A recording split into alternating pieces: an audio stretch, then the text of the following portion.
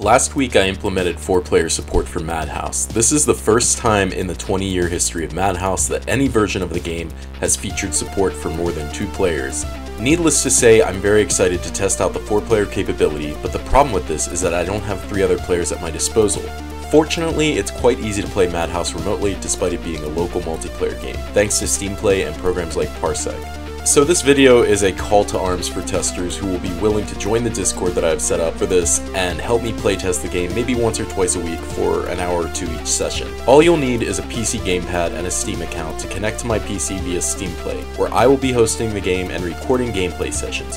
While we play the game, have fun, and keep an eye out for bugs. Testing will be completely voluntary, as I'm just a solo indie dev that can't really afford to offer monetary compensation at this time, but I will be happy to credit all testers in the final product, which of course you'll receive for free, including all the updates. So be sure to check out the newly created Discord and join me in testing and playing Madhouse.